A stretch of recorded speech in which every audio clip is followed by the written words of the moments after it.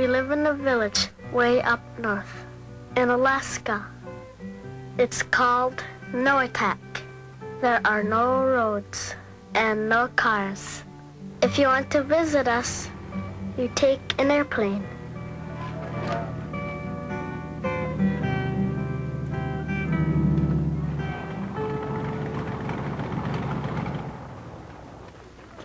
And every winter, the doctor comes to visit to see if all the children are healthy.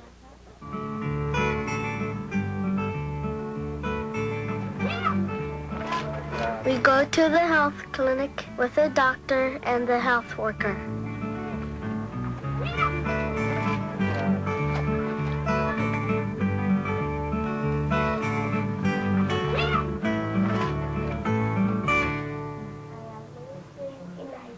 Many people come to the clinic to see the doctor.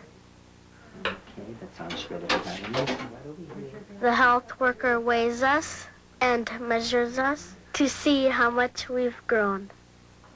45 and a half inches. My, you're a tall boy. Let me see. 50 pounds. Man, you're heavy. Look into your ears over here. All right, just turn your head to the side. And the doctor checks our ears, Turn over this way. Take a real quick peek here. Good. eyes, Now, look over here, Trina. Look fastest in your eye.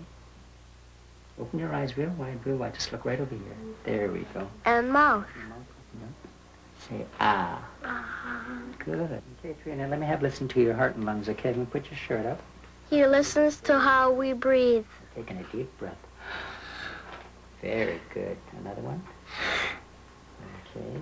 And he listens to our hearts. Great. Now let's listen up front over here. Listen to your heart.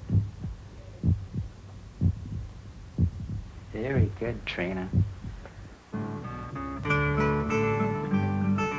Ears, eyes, mouth, breathing, hearts. And when he has seen all the children, he flies back home. Until next time, bye.